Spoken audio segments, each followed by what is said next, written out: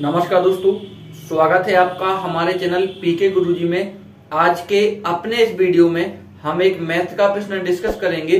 तो हम यहाँ जिस प्रश्न की बात करेंगे, उसको पहले देख लेते हैं। तो प्रश्न हमारा क्या है? प्रश्न है कि किसी आयत की लंबाई में 60 प्रतिशत की वृद्धि की जाती है, उसकी चौड़ाई को कितने प्रतिशत घटाया जाए कि उसका क्षेत्रफल अपरिवर्तित रहे? ठीक है? उसने कहा है कि एक आयत है, उसकी लंबाई को अगर हम 60 प्रतिशत बढ़ा दें तो चौड़ाई को हमें कितना प्रतिशत कम करना पड़ेगा कि उसका जो क्षेत्रफल है, वह अपरिवर्तित रहे, यानी क्षेत्रफल में कोई भी परिवर्तन ना आए। ठीक है? तो इस प्रश्न को हम दो विधियों से सॉल्व करेंगे। पहली विधि जो है, उसको देख लेते हैं। पहली विधि में हम क्या मानते हैं कि जो इसकी लंबाई है, वह है सौ। और चौड़ाई है, वह भी है सौ। ठीक है? दोनों चीज़ें हमने मान ली हैं कि लंबाई भी सौ है और चौड़ाई भी सौ है। फिर उसने कहा है कि लंबाई में अगर 60 प्रतिशत की वृद्धि कर दी जाए, अब हम इसको एल वन मान लेते हैं। तो अब लंबाई कितनी हो जाएगी? 160 अब वह कह रहा है कि चौड़ाई को कितने प्रतिशत घटाया जाए तो अभी हम चौड़ाई को x मान लेते हैं।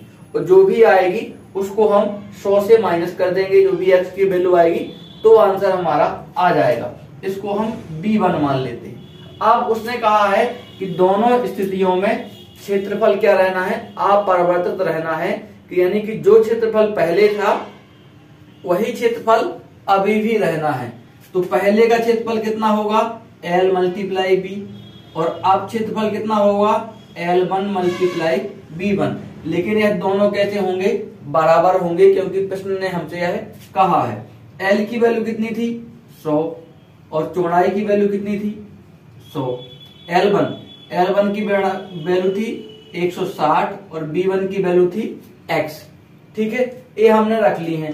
अब 100 गुणा 100 करेंगे तो आ जाएगा दस हज़ार। और यहाँ आ जाएगा 160 एक्स तो x बराबर जब निकाल लेंगे, क्या जाएगा? दस हज़ार भागे एक सौ साठ। इसको काट देंगे। एक ज़ीरो तो यहाँ कट जाएगा। और कटेगा क्या? सोलह से डिवाइड कर देंगे। सोलह से करेंगे तो सोलह का छह बार करेंगे तो कितना होता है? छियानवे। सोलह चुक छियानवे, चार बचा तो चालीस हो जाएगा। सोलह दूनी बत्तीस बचेगा। आठ तो पॉइंट लगा लिया तो अस्सी हो जाएगा। सोलह पंची अस्सी। तो x की वैल्यू कितनी निकल के आई? बासठ पॉइंट पाँच। अब जो भी x की वैल्यू निकल के आएगी, उसको हम क्या करेंगे? सौ में से माइनस कर देंगे। तो बासठ पॉइंट पाँच जब हम माइनस करेंगे तो आंसर कितना आ जाएगा? सैतीस दशमलव पाँच प्रतिशत। यानी जो उसकी चौड़ाई है, उसको सैतीस दशमलव पाँच प्रतिशत आप घटा दीजिए तो क्षेत्रफल अपरिवर्तित रहेगा। ठीक है? ये तो हमारी एक जनरल मेथड हो गई। एक शॉर्ट मेथड होती है, उसको आप देख लीजिए। ऐसे प्रश्नों में जब कोई दो में से एक चीज़ बढ़ाई जाए और जो उसकी सेम वैल्यू यानी क्षेत्रफल है, वह अपरिवर्तित रहे, यानी क्षेत्रफल में कोई भी चेंज ना आए तो ऐसे प्रश्नों को लगाने के लिए हम फॉर्मूला लगाते हैं आर भागे सौ प्लस माइनस आर गुड़े सौ। ठीक है? अब आर क्या डिनोट करेगा?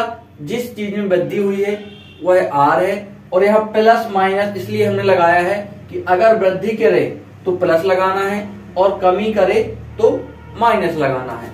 अब यहाँ आर कितने की वृद्धि हुई है? साठ की। भागे सौ।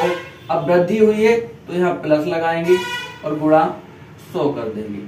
तो साठ गुणा सौ करेंगे तो आ जाएगा छह हज़ार। भागे सौ और साठ, एक सौ साठ।